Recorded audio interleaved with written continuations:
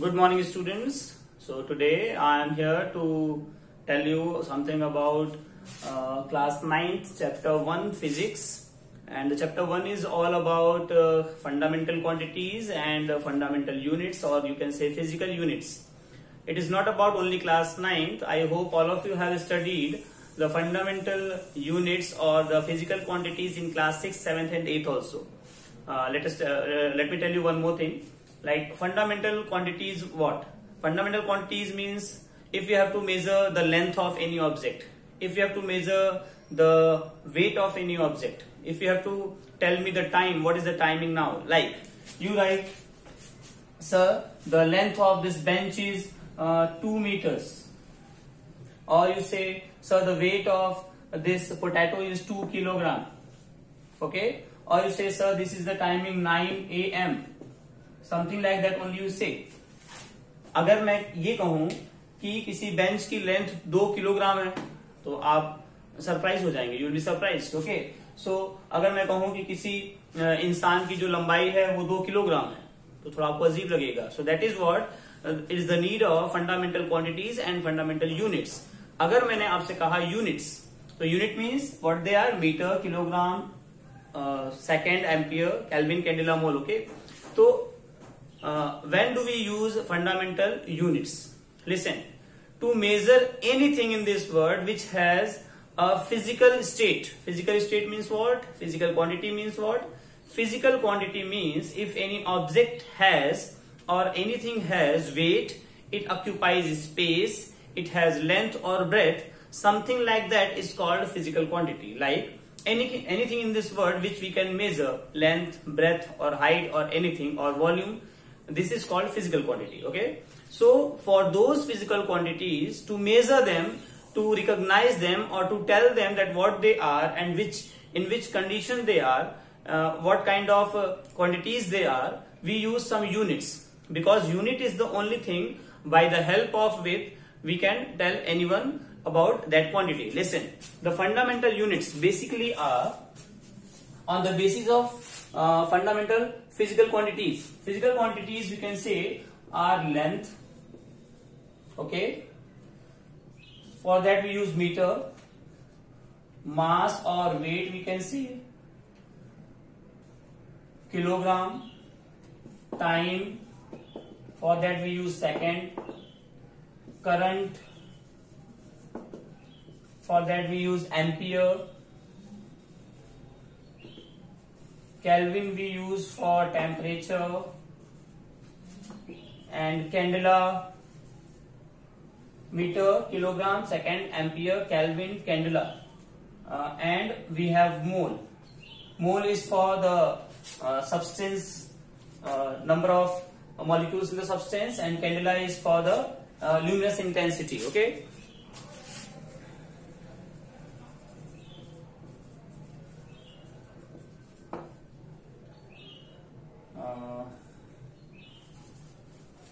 Okay. So we have fundamental units meter, kilogram, second, ampere, Kelvin, candela, mole. These seven are the fundamental units and they are used for length, mass, time, current, temperature, uh, luminous intensity and the uh, substance quantity or the weight or the number of elements in the substance. Okay.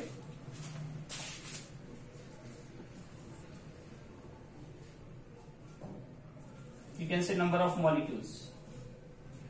So I hope you all will remember this meter, kilogram, second, ampere, Kelvin, candela, mole. Okay. So meter, kilogram, second, ampere, Kelvin, candela, mole. These seven are the basic fundamental units. Uh, except these we have radian and steradian also. But before telling about radian and steradian, I would like to tell you about these. Meter, kilogram, second you all know very well. Meter is for length, kilogram is for mass, and second is for time. And this ampere we use for the current which we are having in our houses. Current flow is there uh, Kelvin for the temperature ca uh, candela for luminous intensity. What is luminous luminous intensity? See you must have a tube light in your house and a bulb also in your house okay? So the intensity of light is less than or bulb is less than the uh, tube light. So tube light has more luminous intensity than bulb. This is what luminous intensity is okay So number of molecules in a mole uh, for small small particles, the number of molecules present in that particle is being measured by the mole. And one term is we have radian and steradian. Okay, what is radian? Radian we measure uh, the angle by the help of radian. Angles are being measured in radian and uh, steradian. See, if we have uh, anything like this board we have.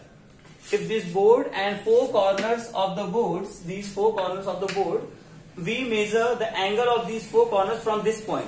So we will have one line going through that point, one to this point, one to that point and one through this point.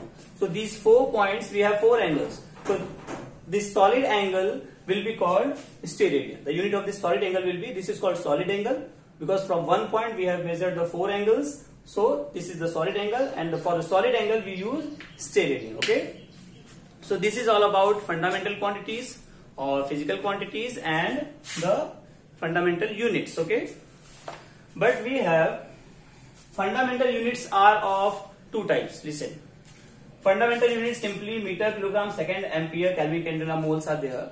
But with the help of these fundamental units, we make some more units. They are called subunits. Like, if we have to make the unit of speed, speed is equal to distance upon time. We all know that. Distance is measured in meter and time is measured in second. So this is meter per second and this is called what? Sub unit. They are fundamental units. This is sub unit. Sub units are made up of with the help of fundamental units. So only seven fundamental units we have and sub units are made with the help of the fundamental units. So sub units are so many. Whatever formula you know like speed, uh, acceleration, distance, displacement, force, anything. Like force we write F is equal to m into A. We all know that. So F is equal to m into A means m means mass and mass is measured in kilogram. Sorry, kilogram. Okay. And acceleration. Acceleration means meter per second square. So meter per second square. So kilogram meter per second square that is called joule. So this is what? This is the subunit, okay? Sorry, Newton. Not joule, this is Newton. So they are called fundamental units, subunits with the and the physical